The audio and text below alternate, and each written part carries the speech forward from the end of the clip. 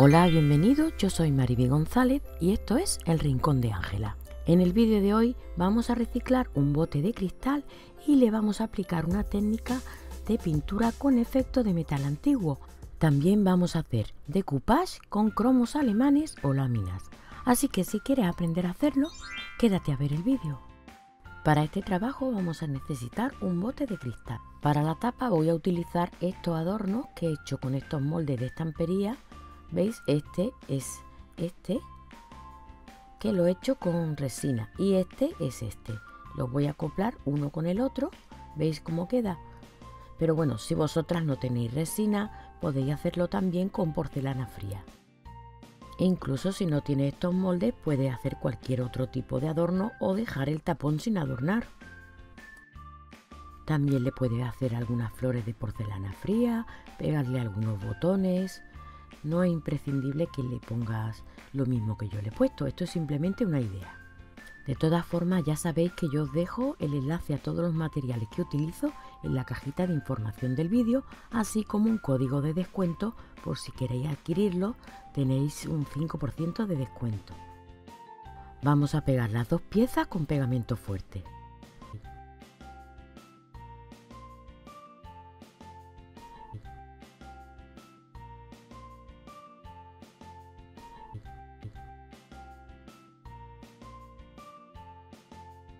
Para pegar la resina a la tapa del bote voy a utilizar este pegamento epoxi de dos componentes para que se quede muy bien pegado. En el caso que utilicéis porcelana fría, pues yo también recomiendo que uséis este tipo de pegamento que es muy baratito, lo venden en los bazares chinos y con esto nos aseguramos de que la pieza no se va, no se va a soltar puesto que con silicona caliente seguro que se, se suelta. Así que este pegamento es de dos componentes, lo ponemos sobre la tapa y lo vamos a mover con un palito de madera para que se mezclen bien los dos componentes y ponemos la pieza de porcelana fría o de resina sobre el pegamento para que se quede muy bien pegado a la tapa. Nos aseguramos que quede bien pegado y limpiamos los posibles restos de pegamento que puedan quedar por el borde. Y lo dejamos hasta que esté completamente seco para seguir trabajando. Una vez se haya secado la tapa, vamos a continuar pintando la tapa y el bote con la pintura a la tiza de American Deco Art en color rústico.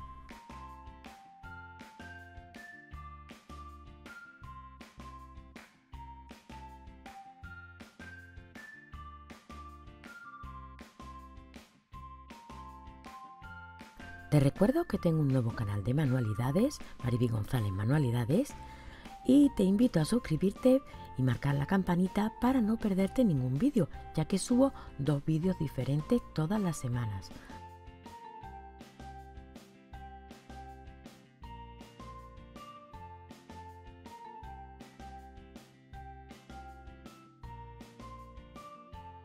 Vamos a aplicar dos capas de pintura en el bote. Aplicaremos una capa, la dejamos secar y después aplicamos una segunda capa. En la tapa hacemos lo mismo.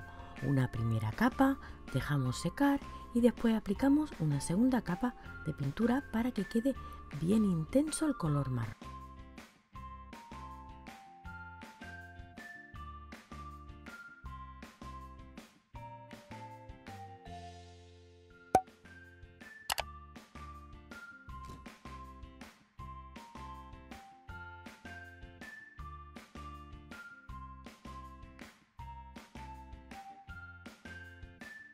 Ya se han secado las dos capas de pintura a la tiza en color marrón y ahora vamos a utilizar la pintura Vintage Effect Wash en color blanco de American Deco Art para dar una capa con pincel seco.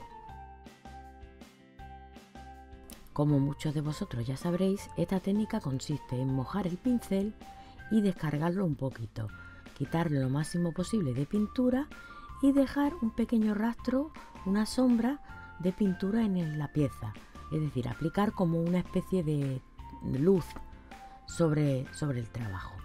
Mojamos el pincel, descargamos y vamos aplicando pequeños toques de luz.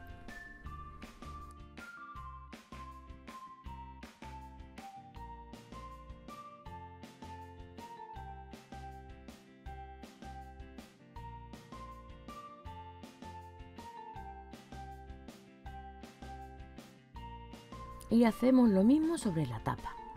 Mojamos el pincel, descargamos la pintura y aplicamos una pequeña sombra de pintura sobre la pieza.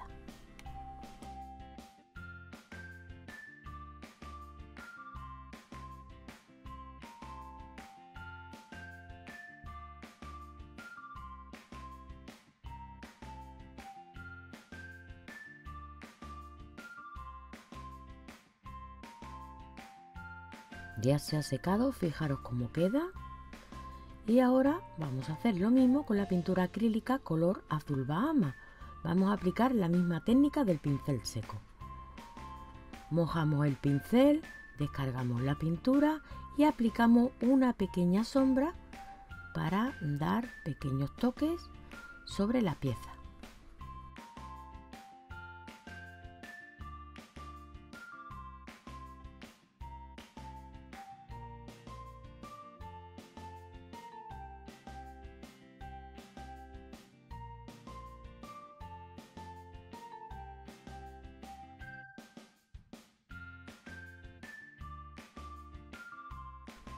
Y hacemos lo mismo en el cuerpo del bote.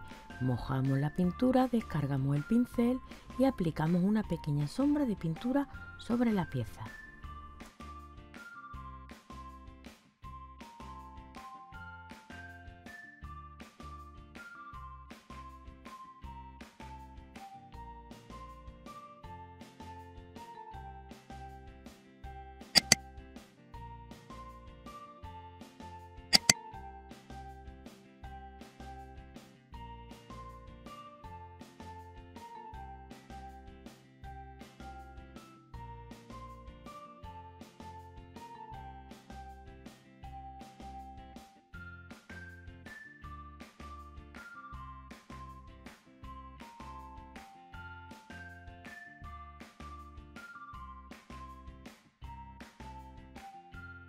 Con la pátina Metallic Lustre en color fiebre del oro le voy a dar un toque dorado.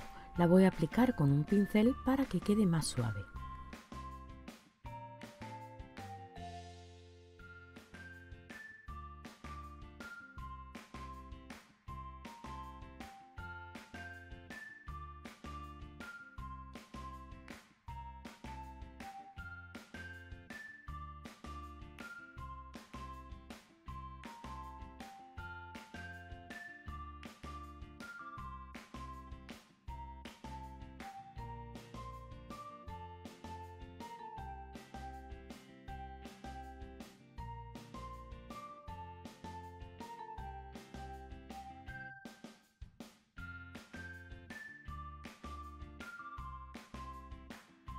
Para el decoupage voy a utilizar estos cuatro cromos alemanes o láminas que se llaman también y los voy a recortar y a separar que de estos pequeños dientecitos que traen en medio recortándolos ¿Veis? Esos dientecitos que traen en medio, pues nada, simplemente tenemos que recortarlos para separarlos.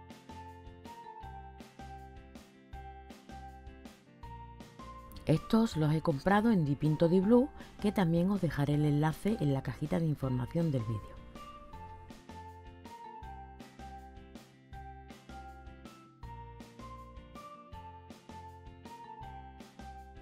Ya tengo recortadas las láminas y para pegarlas voy a utilizar el pegamento para decoupage mate de American Deco Art. Con un spray de agua voy a pulverizar un poco por la parte de atrás del papel para que así a la hora de manejarlo no esté tan rígido y pueda moldearlo más fácilmente. Ahora vamos a hacer el decoupage aplicando pegamento en una cantidad generosa por la parte de atrás del cromo o lámina y la ponemos sobre el bote. Recuerda que este, este papel está un poco húmedo ya que le he echado agua con un spray, así que el papel está muy manejable. Y ahora le ponemos pegamento por encima. Hacer decoupage con cromos alemanes o láminas es mucho más fácil que hacerlo con servilletas porque al ser un papel más rígido no tienes miedo ni tienes problema de que se vaya a romper. Así que si estás empezando en esto del decoupage, te aconsejo que los pruebes y verás cómo es súper fácil.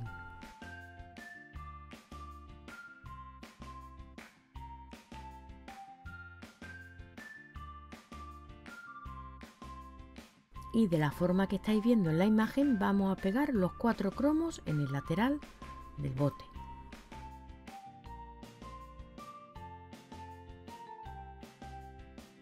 Este trabajo también lo podéis hacer con servilletas, no quiere decir que yo si utilizo este tipo de, de cromos tengáis que hacerlo con el mismo material que yo. Si queréis hacerlo con servilleta lo podéis hacer también perfectamente. Ya se ha secado el decoupage, como veis ha quedado precioso, pero para rematar el trabajo y darle un acabado final vamos a aplicar una capa de barniz satinado Duraclear de DecoArt.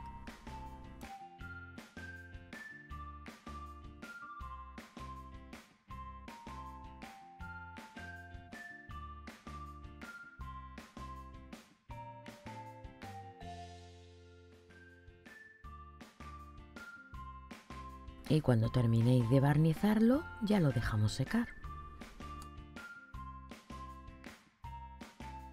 Y como toque final le voy a poner este lacito de encaje, pero esto ya es opcional. Si no os gusta pues no se lo pongáis nada más. Muchas veces me decís, es que no me gusta con el lazo. Pues bueno, no se lo pongas, si no te gusta, que nadie te obliga. Esto ya es a gusto de cada uno. Yo se lo pongo porque es como, no sé, como mi toque final. Que me, da la sensación de que no está terminado si no le pongo así un lacito o algo. Pero ya os digo, eso es al gusto de cada uno. Si no te gustan los lazos, pues no se lo ponga. ¿Veis? Le da como un toque así chavichic, no sé. A mí me gustan mucho los lazos y las flores. Es mi toque personal. ¿Y tú qué opinas? ¿Te gusta darle tu toque personal poniéndole un lacito, una flor o algo así? ¿O te gusta dejarlo solo, sin ponerle ningún toquecito personal? Déjame un comentario y dime qué opinas. Y ahora sí doy el trabajo por terminado.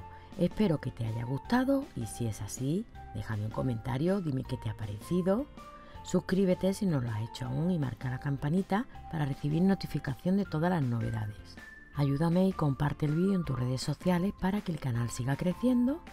Y nada más, ya me despido, un beso muy fuerte y nos vemos en el próximo vídeo. Hasta pronto amigos.